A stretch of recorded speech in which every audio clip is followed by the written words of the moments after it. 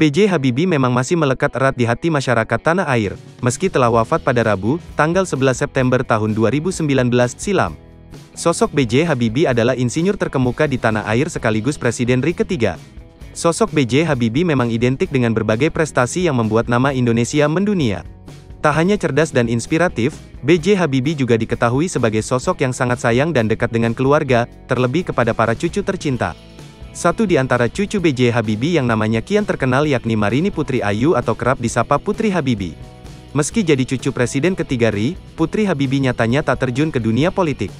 Sosok Putri Habibie rupanya memiliki kisah perjuangan yang banting tulang membiayai kuliahnya. Dari hobinya, Putri Habibie meraup penghasilan untuk kuliahnya tersebut. Putri Habibie rupanya punya hobi memasak sedari kecil. Putri Habibie itu memiliki bakat memasak yang luar biasa dan dituangkan ke dalam program Lady Bake Cooking Class, kelas memasak miliknya yang sukses. Siswa dan peserta program kelasnya itu berasal dari berbagai kalangan seperti artis dan istri pejabat, seperti Tina Tun, Raisa dan Ashanti.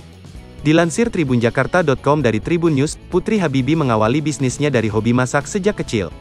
Bakat memasaknya itu turun dari ibunda yang senang mencoba berbagai resep makanan.